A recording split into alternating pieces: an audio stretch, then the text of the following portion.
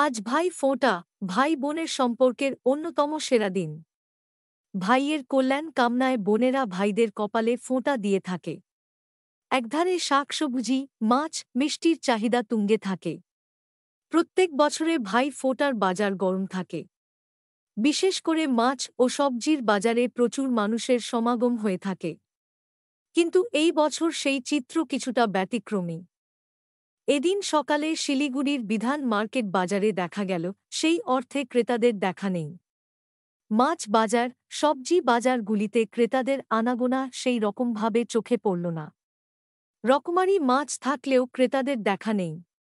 এই বিষয়ে মাছ ব্যবসায়ীরা জানিয়েছেন, এবারে অন্যান্য বারের তুলনায় বিক্রি অনেকটাই কম। রকমারি মাছ থাকলেও ক্রেতাদের সেই অর্থে দেখা মিলছে না। বিক্রি না হওয়ার কারণে তাদের মন খারাপ।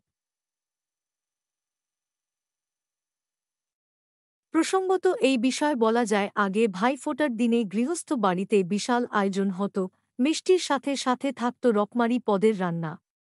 ইলিশ, চিংড়ির হরেক রকম পদ থাকত। পাত পেড়ে খেত সকলে। এখন সময় অনেকটাই বদলেছে। গৃহস্থ বাড়িগুলির আয়তন ক্রমশই ছোট হয়ে গেছে। আগে যেখানে লোক গিজগিজ করত, এখন বেশিরভাগ ক্ষেত্রেই নিউক্লিয়ার পরিবার।